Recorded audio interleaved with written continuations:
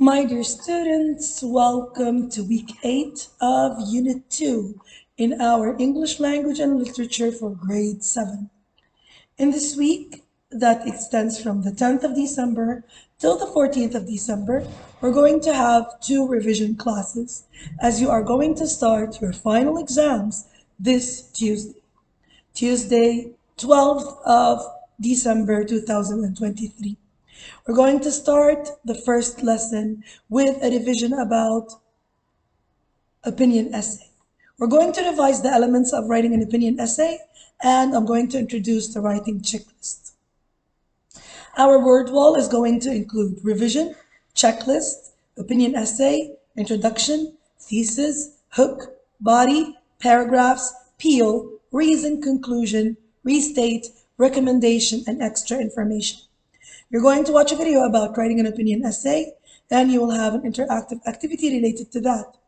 And then you are going to watch another video about useful phrases and how to write uh, an opinion essay.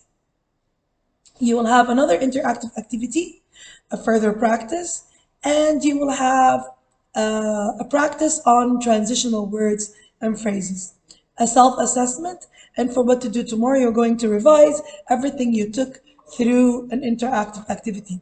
Of course, during this class, we're going to talk about checklist and how to assess your own work uh, using a checklist. For lesson two, we're going to reflect our understanding on a worksheet. We will have reflection, end of unit, comprehension, worksheet, measure, understanding, criterion A, and analysis.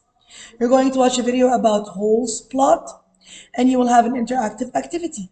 You will, not, you will watch another video about the summary of Holes movie, uh, Holes uh, novel, and then you will have another interactive activity where you can assess your understanding of the novel and analyze it through the interactive activity.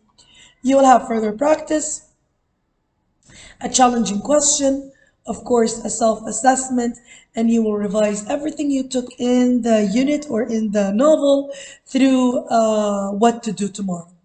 I can't wait to start this fruitful uh, week with you guys. Uh, I hope all the best for you in your E1 exams. All the love and respect.